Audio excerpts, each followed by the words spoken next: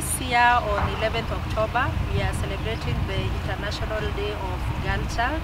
As Anita Home, we see it as another great opportunity whereby we are seeing girls being uh, celebrated in the society and also being empowered to be able to acquire equal opportunities as boy, boy child.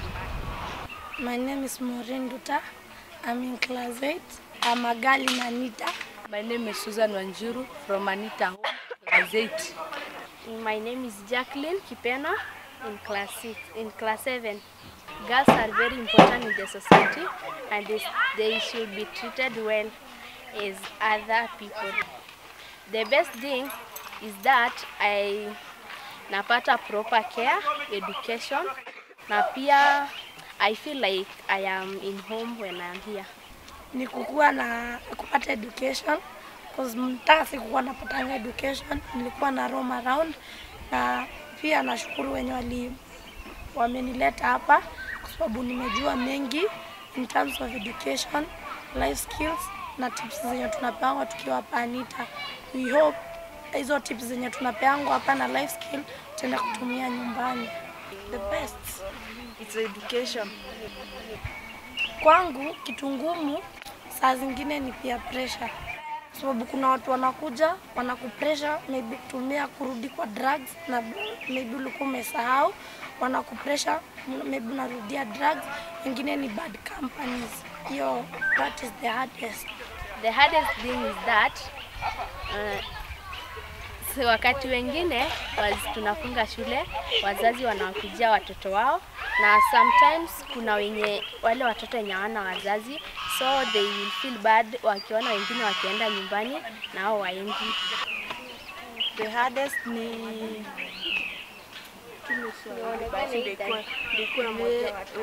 watu waki watu waki, wakienda manyumbani, si tunabaki huku, wengine wetu tunabaki, alafu saa hao wengine wanajienjoy na familia na si tuna tuko huku. Mm. Na wish sana wasichana tusome kwa bidii sana, ndio pia in future tukuwe important in the society. Me in the future I'd like to be the ambassador. Mi na wish mazuri kwangu na nina wish nitakuwa mtu mzuri kwa maisha na kusaidia hadi pia watu wengine. Wasichana wenye wanaishi hapa pia nawaishia ma maisha mazuri na wa, wa, hata wakienda huko nje wasidanganye, wakuwe na maisha mazuri, wa, wa, wa, hizo skills zenye wamepewa wazitumie iwasaidie kwa maisha yao.